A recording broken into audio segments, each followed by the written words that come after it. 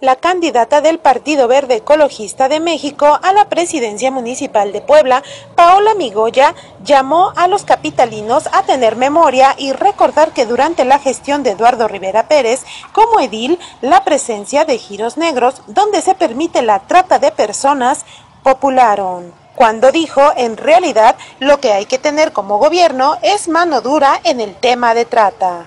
Lo anterior lo expuso al tener acto de campaña en el entronque de Amalucan, donde escuchó las peticiones de los ciudadanos y comerciantes.